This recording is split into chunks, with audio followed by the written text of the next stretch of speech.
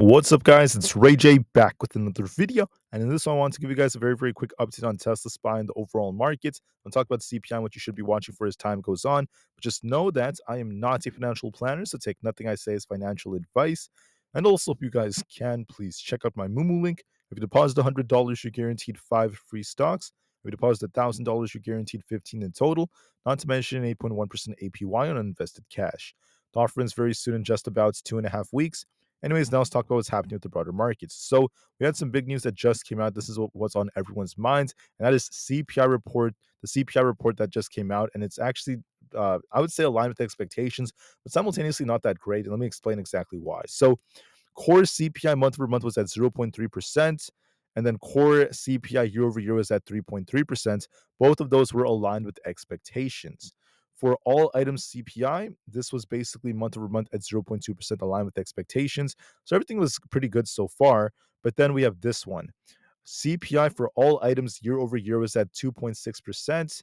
This is aligned with expectations, but it is a slight increase. And that's something that's worth mentioning. So, what does this mean? So, if you guys look at this, we have all items CPI without food and energy. That's the purple line right over here. Uh, this is basically on a bit of a downtrend. It's been downtrending since, and then during this report, it's been kind of flat.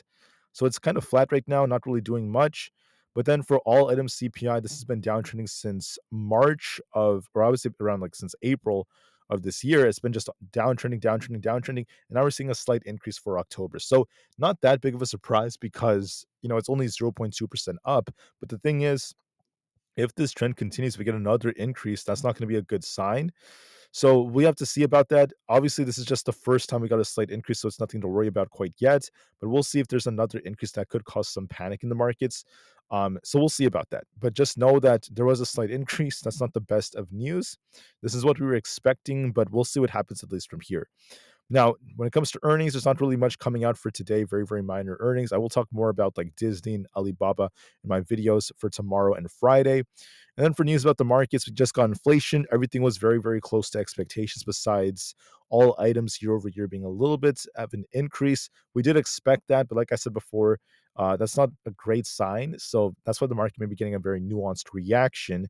There was some news about how Elon Musk and uh, Vivek have been uh, appointed some of the leaders for Doge, the Department of Government Efficiency, the new administra- administration. This is affecting Tesla a little bit more positive news for it because uh, the market does like the fact that Tesla will have a bigger edge on AI regulation as a result of this because of Musk's connections. Let's just say that. Um, there was some negative news for Tesla too about the Cybertruck recall. About 2,000 of them are going to be recalled. And this is a real recall because of their inverter issues, not necessarily a software update. So very mixed news for Tesla this morning. Besides that, DirecTV's proposal to be have an acquisition with Dish is more than likely terminated after uh, a, rejected offer. So just want to call that out as well. Besides that, there's not really much else coming out on, on the news. So let's talk about the charts real quick. SPY is trying to push right if you're looking at this resistance at 598.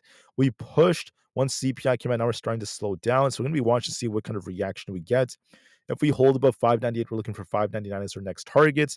And if we can't hold above 598, there is a risk of us dipping closer to about 595 again. And if that fails us, we're looking for 594.28, followed by this imbalance fill towards 592. So there is a risk of downside considering the fact that we're not doing a good job at holding above 598 as of right now. But we'll see what the reaction is once we open because sometimes there's a delayed reaction to CPI. This chart does favor that I might try to push it, but maybe dip a little bit lower. So look upon a push at open, and we'll see if we get a dip later on. We'll uh, we'll have to wait and see, guys, how this ends up going. So let's see if we break past 598 or not. As of right now, it does look like it might actually dip a bit. So we'll see about that. For ES, the same thing we pushed about 6,030 only to slow back down. This is at risk of coming back down to 6,005 near the 20 EMA. If we lose that support, we're going to be dipping back down to about 59.92, followed by 59.80. So watch and see how this ends up going. We're making lower highs right here. We had a lower high here, here, here, here. So this could be making a lower high, and then this could be dipping lower. There is a risk without looking at the current technicals. For NVIDIA, we're trading sideways. I do see a push coming to about the 150 area, very close to 150. 150 to 152 is going to be a tough resistance. We'll see if 152 breaks to remain bullish. Otherwise, it could hit 150 and start dipping back down to about 146. I think there's a risk of 150 to 146, so just keep that in mind.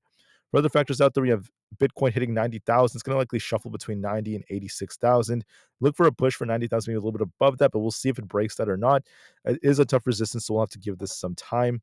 Uh, but look for 90,000 to be tested, and we'll see if it breaks. As of right now, every time we touch it, we do we do kind of like slow down. As far as Tesla goes, we have this nice falling wedge that's led to a little bit of a push. However, there's no guarantee the move is going to last because we have to break past 340 to 346 plus. If we don't break past 340, uh, you know, if we don't hold above it for four hours or more, there is a risk of us returning back down to 325. So just keep that in mind on Tesla. It depends on 340. Can we reclaim it or not? Otherwise, we might be dipping lower. NQ tried to push only to dip back down. If we don't break past um, 21,250, there's a risk of us coming back down to 21,138. If that fills us, we could be dipping back down to the 21,000 area. So watch and see if that ends up being the case. For the QQQ, um, we did try to push a bit. Uh, if we end up losing support here, we're looking for essentially 510. Uh, we have to try to break 515, otherwise 510 is likely coming. If that fails us, we're going to be dipping back down for 508. So I'll be watching to see how things end up going. Apple's dipping here. We could be dipping closer to about the 222 area. We're getting a rejection off our 20 EMA. The IWM Russell 2000 is kind of rejecting here as well. We have to see if we break past 240. Otherwise, there's a risk of 236 coming. So it might try to pop and then dip, but we're range bound. Break 240, we could turn a little bit more bullish. Lose 236, we turn more bearish. We'll have to see which way it ends up going. For coin, we could be making a lower high if we don't reclaim uh, 330. It might attempt to push to 330. If we don't break it, though, this could turn back down to about 320. So we'll have to see if that breaks or not. Amazon also could be rejecting here. If we don't break past 210, we're looking for a dip back down to 208. Meta could also be slowing. If we lose 582, we're looking for 580 is our target. So it's starting to slow a little bit. Microsoft might be dipping to 420, so just keep that in mind. That's the most likely move. And then also Google's dipping here. It might make its way down to about 182. If 182 does not hold, though, 180 is coming. So we'll see about that. I know people are asking me about Palantir. It does look more bullish right now. We're looking for 62 to be coming in 62.5. If we break that, I think we could get closer to 64. It is a little bit stronger than the markets for now, but let's see if 62 breaks. With that being said, guys, I want to make this video very, very short and simple.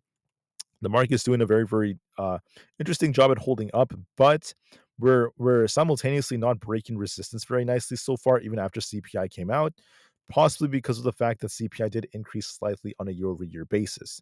That's not the end of the world, of course. We need to wait for more reports to get more, uh, I would say, insights on what the data is truly doing. Because sometimes you could get like one little spike and then you know it could still just collapse. So that's not what's really happening. In this case, we just have to wait and see. But I just want to say that because inflation did go up just a little bit, and that was what we were expecting, that's why the reaction is kind of like this, is a little bit more nuanced. With that being said, I thank you all so much for listening. I'll be back in a couple of hours to give you guys another update. I appreciate you guys so much for your attention. I'll be back uh, to give you guys more insights very, very soon. Thank you for listening. Let's see how the market ends up reacting. It is looking a little heavy right now, and we'll be watching our levels just to be safe. There could be another big reaction after open, so just give it the market the time it needs. Thanks for listening, and peace out.